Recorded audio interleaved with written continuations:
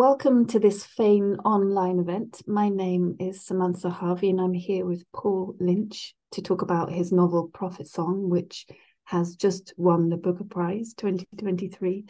Um, Paul is the author of five novels uh, Red Sky in Morning, The Black Snow, Grace, Beyond the Sea, and now Prophet Song. And his previous novels have been long and shortlisted and won pretty much every French prize going. um, he has also been shortlisted for the Walter Scott Prize and won the Kerry Group Irish Novel of the Year for Grace. Um, welcome, Paul. Thanks, Samantha. It's a pleasure to be here. So, I want to ask you first, I suppose, inevitably, about uh, winning the Booker. We spoke probably a couple of months ago before Prophet Song came out, and we were talking about prizes and the the kind of uh, poison chalice of them, the, the sort of terrible curse and the terrible blessing that is prizes. And we were saying, well, you were saying back then that you uh, that all writers need a boost to their serotonin levels from time to time. How are your serotonin levels now?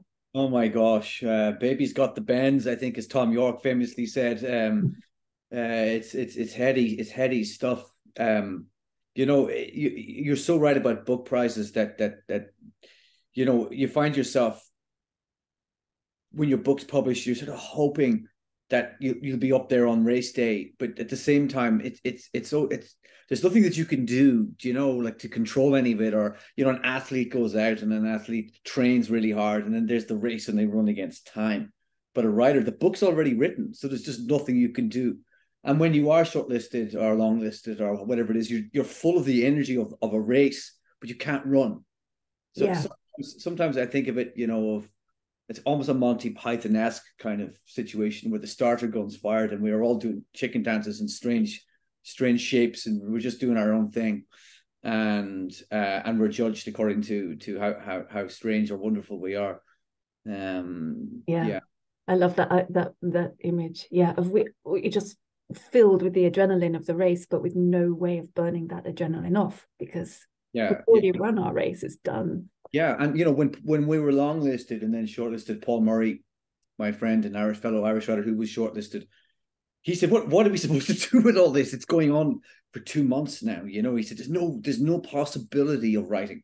There's no possibility of getting any work done because the world is just coming at you all the time." Um, and, and so I had actually sort of I'd made my peace with with not winning it and had decided that I would certainly from the end of Christmas just just get back to work. That was the goal. Um, but you know, I've been told that not that's just not going to happen now. Um, so no, I think you probably won't get back to writing for a good year yet. I think a year is is what I, yeah around then. But at that point, I will pull the shutters down, and there'll be a key thrown out the window, and Paul Lynch will go into silent mode. You know, I suppose just to, to quickly before we move on to talking about Prophet Song, that I'm interested in that relationship between. I always think of it the relationship between being a writer and being an author. You know, the the writer sits here, writes. The author is the one who, uh, in in in a best case scenario, wins the Booker Prize and has to do all of this stuff. And what's the for you? What's the relationship between those, and which do you, um, how do you manage now having to be an author full time and not a writer at all? It's a great question. You know, when we become writers, we do so because we figured out that there's something far deeper within, inside us that needs to be channeled. And you you could call that your authenticity for a start.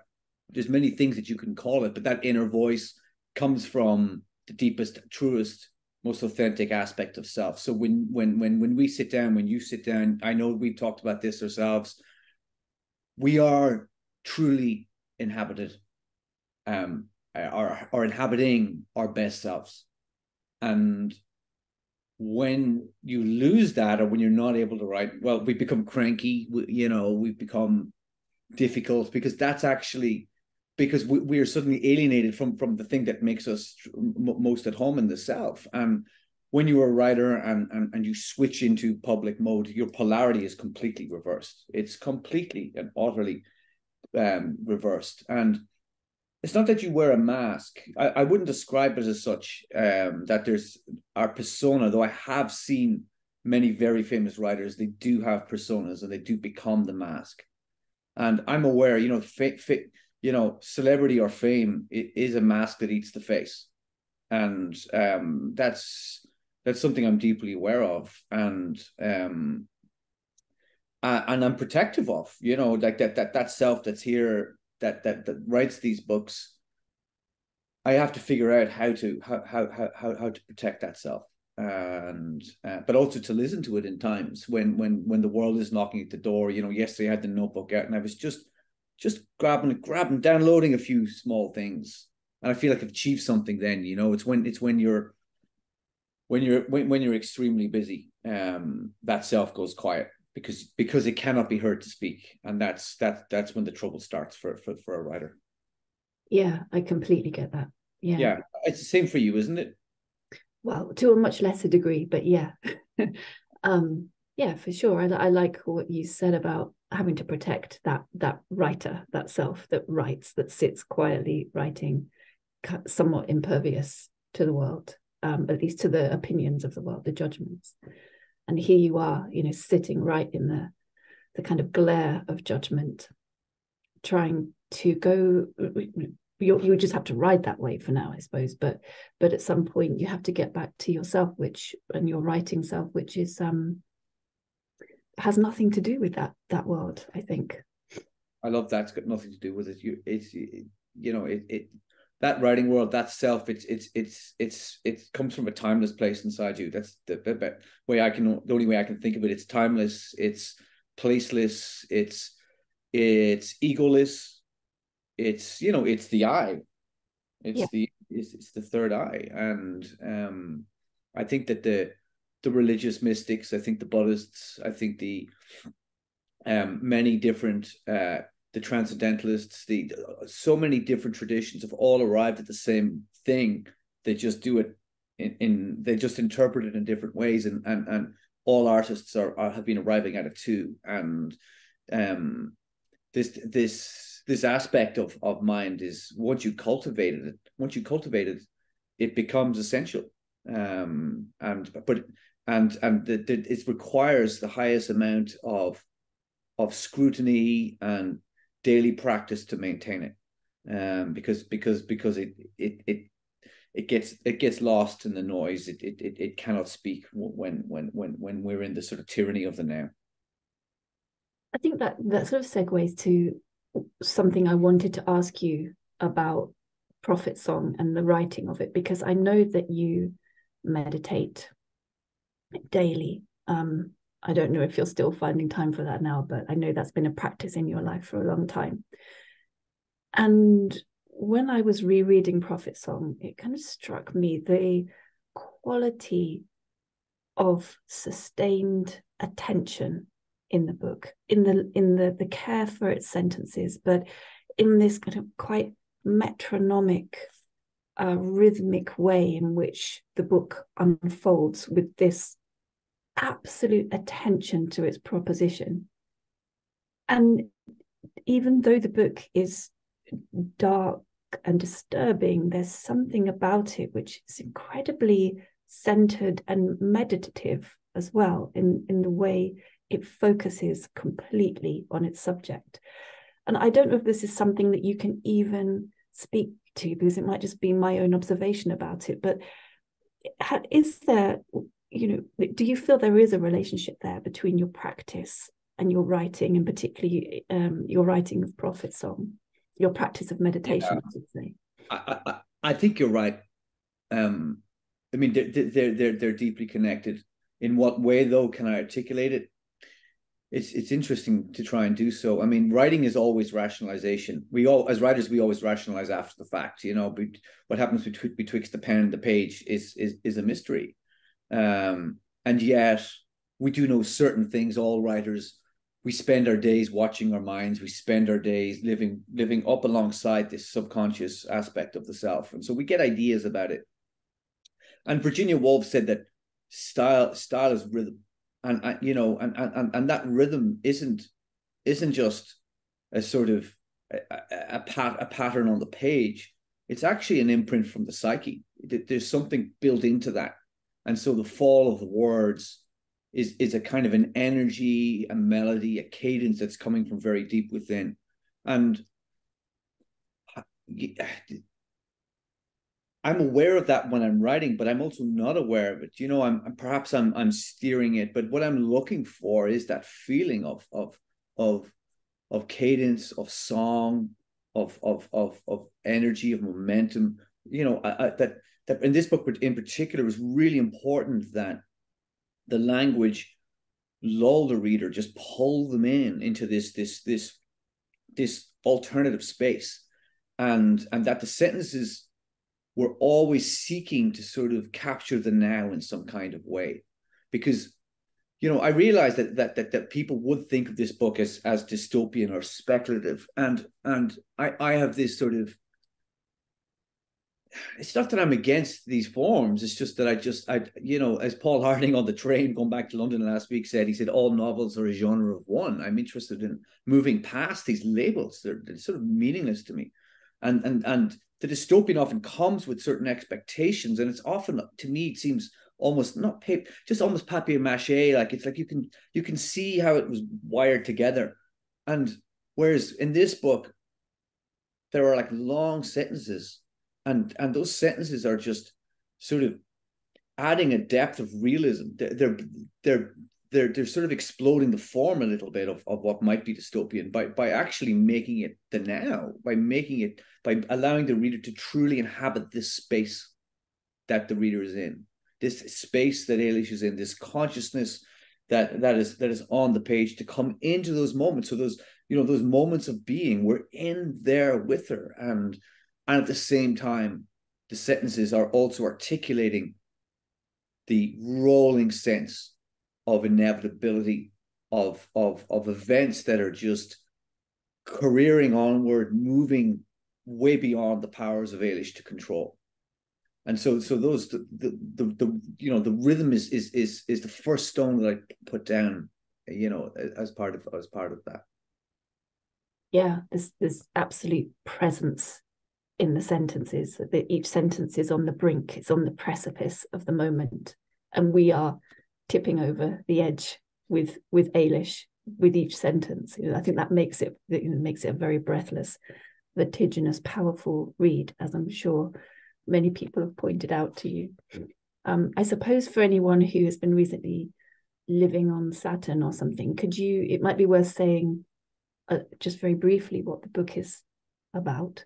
Yeah. Um, and maybe particularly in relation to its title, because we've actually never spoken about this, and um, wondered if you could talk about the title "Prophet Song" and what why why it's called that and, and what how that relates to the book yeah, I mean, the, the, novel is the story of Eilish Stack, who is a mother of four. She's got three teenagers and an infant.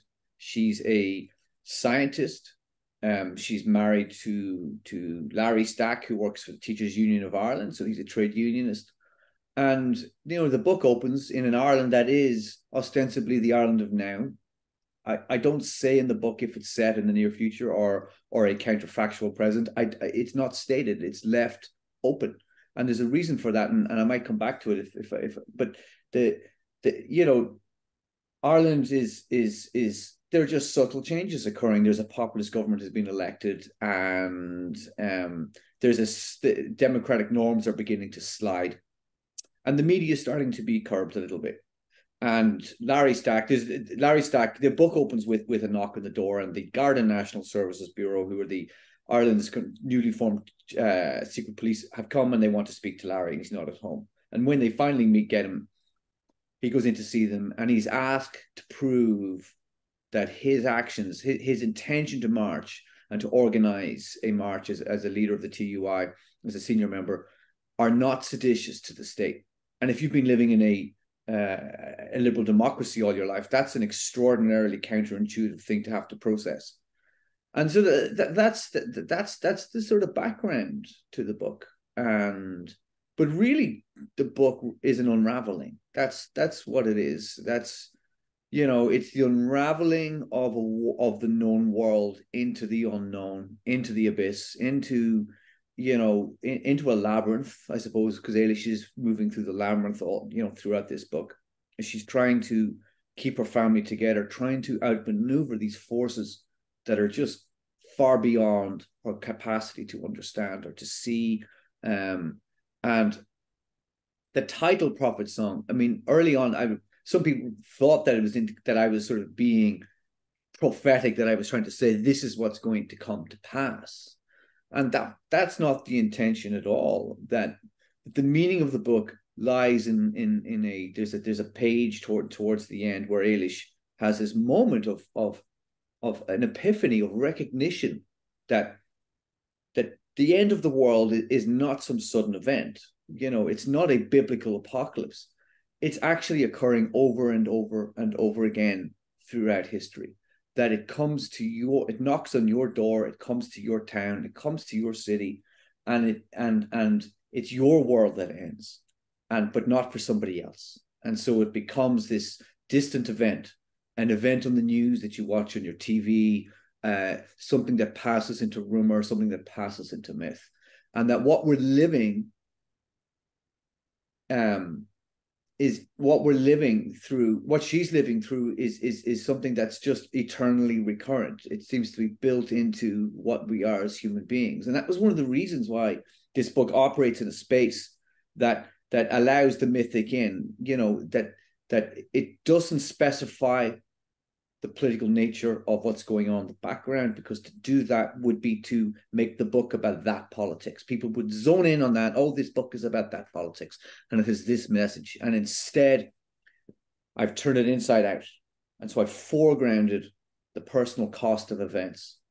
And i've foregrounded just the the the, the, heart, the feeling of being alive the feeling of of living through this rather than what it is or how we're to interpret it and um and and and so the mythic enters into it by all, just all sorts of ways it enters into the book. Um, it, you know, the, the the closer you can get to myth, the more freight, the more universal freight your story can carry. It, it, it can it can speak to multiple political realities, and I realized I was writing this book that it was able to do that. That it was starting to sort of you know, I'd started off writing from one place, but it kind of grew and, and, and deepened. And I, and, and, uh, and, you know, and I was thinking about a line from Cormac McCarthy's The Crossing that I had notebook many years ago. And if I'm, hopefully I won't get this wrong now, the line was something like, you know, the task of the narrator, it, uh, appears it isn't an easy one. He appears to be required to choose his tale from among the many that are possible, but that is not the case. Instead, he's required to make many of the one and this book I was trying to make many of the one, and so to to allow myth in, to allow that space where Eilish sort of has these moments where she sees how timeless her situation is, how how across time there's so many people have viewed, have seen the same thing that she's seen. They've seen smoke rising up from from from the city that they're in, the, the oncoming signals of war, um, or or or or, or the oncoming sense of loss that that that that that's coming to meet her. Um, yeah, yeah, that's also um, beautifully and powerfully put because you know I've read uh, a few uh, write ups on the book that talk about its prescience, for example, and I always think that's a, a slightly strange word to apply to this book because it kind of infers that what you're doing is predicting that this thing is going to happen or could happen in Ireland or in a Western democracy. When in fact that's sort of it's it's not prescient because it's talking about the repetition, the circularity of these events, the way they keep recurring over and over again for, for people across the world. As you say, something that's in the news suddenly becomes one's reality. And there's this circularity to that. So it's not trying to predict the future, it's saying the future is always here and it's also the past and it's also the present. And there's this uh this repetition. There's nothing new under the sun, as you as you say in your epigraph. Um, and I, I, and that that permeates the book all the way through. You, there are so many allusions to that, to the to the way things just keep recurring and repeating, and and that um, Eilish is in this this timeless story. And simultaneous to that, you've got this really interesting thing happening whereby the chronology of the book itself, whilst also pointing to the timelessness of time and the the kind of um, simultaneous presence of different time frames, is it's an entirely chronological book, and it and it has this very rhythmic forward motion, a, a, very simple, effective, powerful chronology that takes the reader through from beginning to end through the seasons. And I wonder if you could talk a little bit about that decision to sort of play it so straight, to play it so chronologically, and also maybe more importantly, how you came to decide upon the time frame for this book how long does it take for a society to collapse into totalitarianism? How many seasons? You know what, what was the rationale behind your the the, the uh, time frame of the book?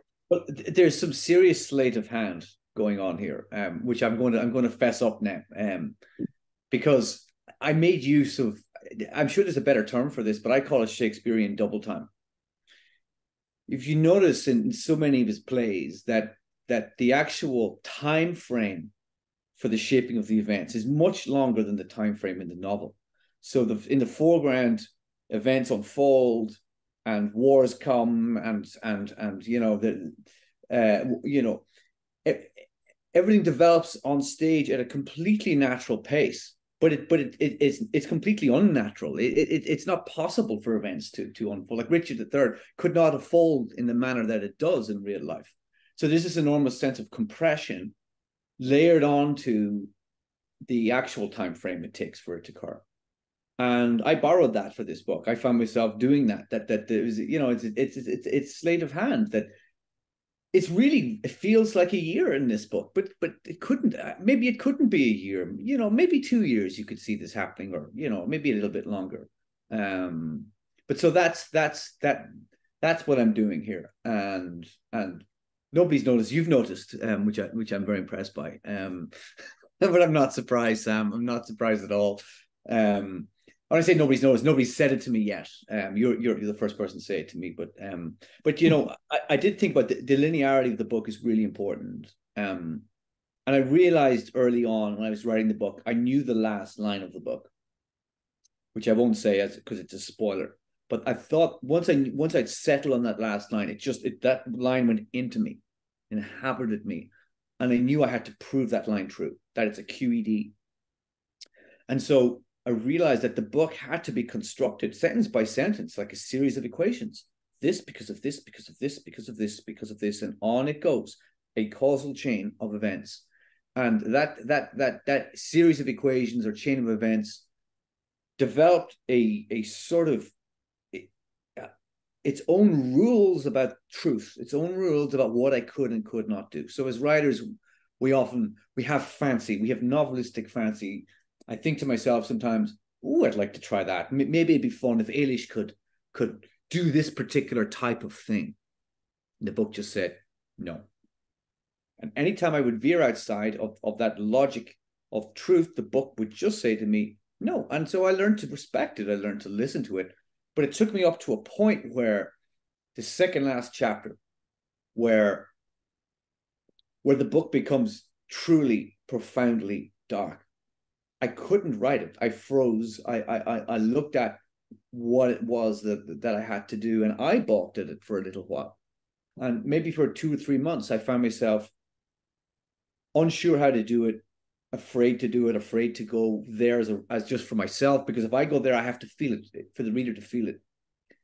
I have to feel it, but afraid to go there for the reader too. And and and and these are the risks you take as a writer. You you know I I I you're not alive on the page unless you're pushing past yourself and going to dangerous places. And I realized, you know, like like like Vir- like Dante's Virgil, the poet has to sort of guide, take the reader by the hand, and do so with with a little bit of poetry and a little bit of grace, so that when they hold that Medusa, that mirror up, the reader can see the Medusa through the mirror, through through through that through that through the writer's mirror. They they themselves are unharmed. You know that the, the the reader can stare into the abyss, so to speak, and not fall in. Mm. And that's what I what I realized I had to do, and and so and also I I also realized that that the re, that it, that by sticking tr- to the truth in the book, that the readers would respect that. They would know that I had not foisted something upon them, that I had not was not acting in a you know as, as a provocation, or that I was not writing against something. I was writing towards something. I was writing into the unknown, but directed there by truth, and that and that and that I would gain the reader's trust by doing that. Yeah, I mean, and I think you know something that that I felt while reading the book, what really came across strongly for me, and I think must have for a lot of readers, is this idea of justice, and that we have a sense that justice will prevail. There are laws, and they will protect us, and there's a logic to that. And your your narrative is going counter to that logic because it's saying that laws are only going to protect us as long as they're there. You can just undo a law. You know, it's a it's a it's an agreement that we can uh, we can stop agreeing upon and so this this momentum of the book to follow what you've been describing is that you know the the inevitable logic of it even though it goes against any impulse in us for a more redemptive logic that says oh yeah but that can't happen because there's a law to prevent that or somebody will step in to save them. Something will happen and it doesn't happen. And, and it instead of in the book that being a uh, a frustration for the reader it's this kind of systematic undoing of our expectations as readers and our desires and our need for redemption it's very daring i think in it in its um in its focus on doing yeah. that yeah i mean uh, in some ways we could call this the problem of the real couldn't we you know that that we wake up every day and we get out of bed. And the reason we're able to get out of bed is because we don't actually look the real in the eye. And if we did look what was real in the eye, we we you know you might just turn your phone off and just hide under the hide under the covers, um, and and and just be done with it all. And so we're we're wired towards optimism. We are wired almost to think that that history is teleological, that it's moving to some sort of ideal future. Um, you know, I certainly think there's a bias within the last 50, 60 years of liberal democracy that we're we're moving to some sort of ideal of rationality, which is really dangerous because we are deeply irrational. And that it's that irrationality that society cannot see. We don't even see it in ourselves. It is genuinely a blind spot. I think if we were to watch you, if you just spend a day and watch yourself, watch how you tell yourself one thing and then do the complete opposite two minutes later and just keep it, just watch this for a day, you'll realize, you know, that human beings are defined by rampant irrationality. And so in this book, um, father, Simon, who is was a scientist and has dementia and is, you know, the past is sliding away, the, the past that was known. He says to Eilish, you know, that that that that they're taking ownership of the institutions. And when you take ownership of the institutions, you, you can you can change the narrative. And when you change the narrative, you're taking ownership of what people perceive to be real. And so they're muddying the real. They're they're they're they're playing games with it, and we're living in a world now where that's occurring. We're seeing that occur. We can no longer truly agree on a, on a sort of consensus reality of, of where we're all at anymore. And so the book is poking at this stuff. It's it's it's it's it's it's it's sort of examining how we move through the world full of biases, and yet the world just does not give a damn. The world around us is implacable and silent, and we are truly alienated from it. And there are metaphysical laws or, or laws of, of, of, of, of, of perhaps human truth that we keep missing. We, we, we, we, we, we, we keep not understanding it about ourselves. And, and, and, and it goes back to getting out of bed in the morning, but it's, but, but, but, it, but we do so at, at, at, our, at, to enormous cost and yeah, I mean, so that that's why often when I say that this book isn't political, I mean, obviously there's the book has arrived at a place that can be read as a political book, and it seems to have arrived. It seems to have moral weight. But my chief concerns are things that we're talking about here. These are metaphysical ideas, you know, and and you know, to me, political fiction often starts out from the point of knowing its own answer, and it's seeking to change something that can be changed, and so that makes it about grievance. And I, I it, it's my personal belief as a writer that serious fiction should only be about grief. The things that that cannot be changed the things that are lost the things that lie beyond us the things that cannot be comprehended. You know it, it, just the fact that life is lived in the labyrinth the fact that the unwanted likes to knock on our door and that we are constantly found out throughout our lives um, by these things that we are constantly we are constantly encountering the sort of the unknown and and and and, and things that just truly lie beyond us. And and and this is what i'm interested in. This is this is why i get out of bed in the morning. Mm. yeah. It comes across so strongly in the book. I agree with you entirely. It's much more a metaphysical book for me as well than it is political. I wonder if it's time a good time now to do a short reading paul sure um i'm going to read a very political section um, um, it's just a sequence later in the book where we are in the unraveling, and Dublin is is subject to the movements of civil war, and it, the street that Eilish lives on is now occupied by the defense forces. And here we, um, yeah, so in the afternoon, she sits by the bedroom window, waiting for a detailed report on the BBC while Ben naps in the cot. The news comes on and she turns it off, shaking with rage, thinking, this is not the news. This is not the news at all. The news is the civilian watching the soldier outside her home as he lolls on a sandbag playing with his phone. The news is the assault rifle resting against the sandbag. It is the soldier's laughing mouth. It is the fast food wrappers and coffee cups strewn about the asphalt. It is the retired couple from up the street who have decided that they want to go the news is their quarrel in the driveway. It is the woman flapping her hands about not, what cannot be taken in the car. It is the husband who shuts his face to his wife. It is the black bag the woman holds in her arms like a child. It is what is inside the bag. The news is the entire contents of the car. It is the boot the man has to sit closed. The news is the driveway gated for the last time, the house dark at night. It is the traffic light stuck on red for a week before it goes dark. It is the car that will not be allowed through the checkpoint. The news is the shrinking air on the streets. It is the shuttered shops, the windows plyboarded. It is the hoarse dogs whooping throughout the night. It is the eldest son who does not call anymore because it's too risky to call, and nobody knows if he is dead or alive. She watches an army officer riding down the street on a nodding black horse, the build of the thing. She thinks it is a Frisian sport horse, the rider's hands quiet on his lap, his dark boots gleaming to the knee. How he moves within some serene and regal bearing, as though he were but an emissary of the law of force. The soldiers at the checkpoint come to standing, and the officer does not dismount, but waves his crop as though casting incantations into the air.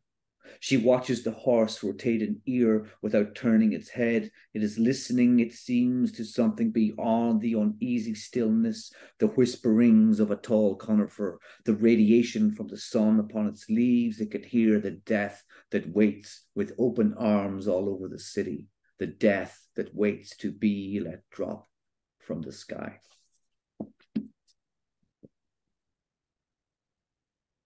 Wow the news is the the traffic light that's stuck on red for a week before it goes dark. I love that.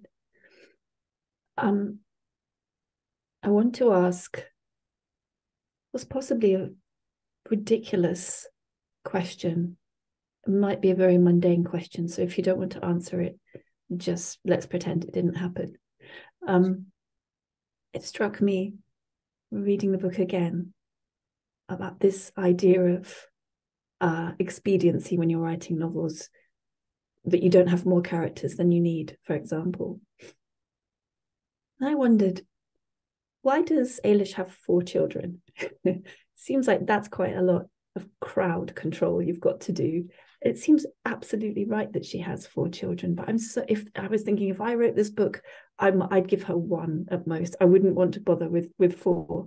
Um, and yet it works. And I, I, don't know whether there's something in this question that's interesting for you to oh, answer. Oh, there is, there is, there absolutely is, absolutely. And really, it boils down to what I consider complexity, because what this book is chasing is, among the many things that it's chasing, is also the problem of complexity. I think that when we think about events like this on the news, when we watch them and we and and there's always that failure of imagination. There's always that failure of us to truly understand not even empathize but just understand how it is for people you know in in, in these kind of events. That we're that we're sort of inured to what we watch. And and and the fiction in this book is designed to get past those self-defenses. And one of the ways of doing that is to truly deepen the complexity of Eilish Stack's life to the point that we're in what I what I call high resolution gray, and that that that that her world is truly enmeshed, and that she has three teenagers who have to, who she has to help navigate this world that that this world where their father has been disappeared. She has an infant child to to a surprise who's come along the way to to to to deal with. She has her father who is sliding into dementia. She has her sister in Canada who is talking to her and saying, Eilish, it's time to leave. History is a silent record of those who did not know when to leave. And Eilish says, It's all well and good for you to say that. But Eilish, uh, you know, but Molly is, you know, in, in, in their team is is is doing so well in the league. And Larry is, you know, I'm dealing trying to get Larry back. And what if dad falls and breaks a hip what then? And and and so what i've learned writing this book is just how truly embedded enmeshed we are in our lives. Our uh, we define ourselves by our relationships. We define we define ourselves by the place that we live in by our career. All these things are are what we are, are who we are. And that nobody actually willingly leaves this behind that for you to take that decision to leave and become a refugee, for example, those things, all of them have to be unplugged one after another, after another, after another, until your life is shut down. And then you're shut it out. Um, yeah. yeah. Yeah. It comes back to this, um, as you say, the high resolution realism of the individual lives that are at stake here, that are at the center of the novel as against the background, the political background, which you have made universal and mythic almost, almost allegorical. Yeah. And the contrast between that stark, complex, inconvenient realism of the lives of your your characters and the fact that it would be much easier if Eilish had no children or just one child but in fact she has four because people with four children also fall prey to totalitarianism. Yeah, yeah. Um, you know, I think that's that's a really um, I hadn't kind of seen it like that before, but that's that's very powerful. And she also, you know, like she also has to contend with their with their individual traumas, their their mm. responses to trauma, which I'm really interested in, and how each one of them you know, watches the known world fall away and and and and and, and responds to it in a completely different way. Her eldest son Mark becomes radicalized. That's his response. He becomes radicalized and and and leaves against her wishes, and she loses him that way. And Molly just starts to shut down inside, and and Bailey turns against her because she tells him a lie at the start. She she she hides from him the fact that his father has been you know, gobbled by the state, I think is how she puts it, you know, to somebody else. That that she thinks he's too young to understand because he's 12 and she's trying to protect him. But actually what she's done is she's actually shut him out and he doesn't forgive her. And that sets then this that sets off then this chain of really of antagonistic energy between them that that sort of in some way, in a very tiny way, leads leads to what happens. And and so I'm interested in in our responses to trauma and, and how we process the unspeakable and how children process it. And there's a moment where she's they're hiding under the stairs, and you know there are airstrikes, and she realizes this infant child in her arms is absorbing from her her fear, that this fear is going into his body and he will never remember what's happened. He will never recall his father. He will never, never sort of have any living memory of what he's experienced, but his body will know. His body will carry this energy in him, and he will become a damaged man, and how he will go forward in his life, and things will own him. He will find himself doing things in response to energies that he has no knowledge of inside him. And so, this sort of the energy of or, or not the energy but the sort of traumatic energy of what's being imposed on these characters is vast. And it it this is this is where you know that the, the, suggestion of inter, intergenerational trauma begins to sort of it's just there it's under the line but it's you know it's under the line.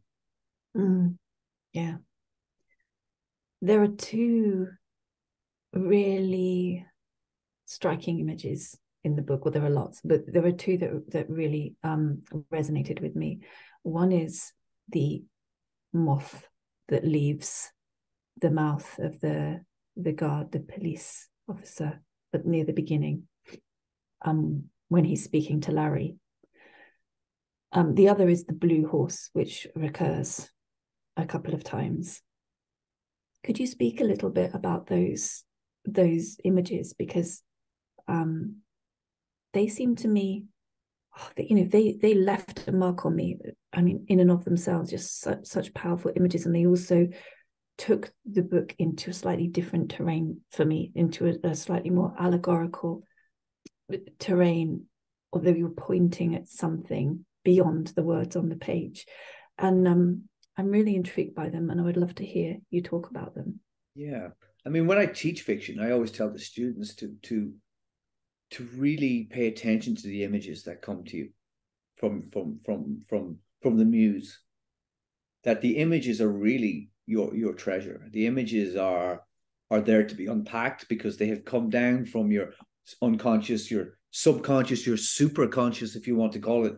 Um and and and and and they're dense with meaning and when you're writing you really got to chase those images and you got to hold on to them when they come to you. And those are those those are images that that that just came to me. And i would say at least on the surface you know where that line of you know how it seems i think it says it seems as if the moth comes from his mouth. And we are now at a point where the just the known is the unknown. We're it's not it's, it's like it's like a dream reality. We're in this liminal space where we're trying to truly understand now what's what's real and what's not real. Are we in are we in dream? Are we in the place of dream? Are we or are we in the real? And the, the, the blue horse comes from a dream that Eilish has where she finds herself in, imprisoned in this moment of time. She's like she finds that their sense of freedom or even at a deeper level, free will is becoming truly imposed upon, truly, truly curtailed. And she has this dream of of being on a horse on a beach. It's a memory. It's it's a it's a dream memory. It's it's something that that she did perhaps as a child, and it comes to her, and it has it has meaning to her. It has perhaps on one surface level, it's it's freedom. It's it's that's sort of the unfettered life um, of being a child on on a riding a horse on a beach by the sea. And of course, it circles back. It circles back later, and we're in, you know, in I think it's night or or certainly it's very very early dawn, probably touching the blue hour, and and she mm. sees the she sees the horse again, and and that she sees that horse. That horse is real, but it's it's it's it's a circular symbol and so, I mean, I'm sure if I thought further into this stuff, I could unpack them for you, but that, that I'd be I'd be doing the readers a disservice. Yeah, yeah, because they're there to be available to the readers as well to resonate as they do. Yeah. yeah.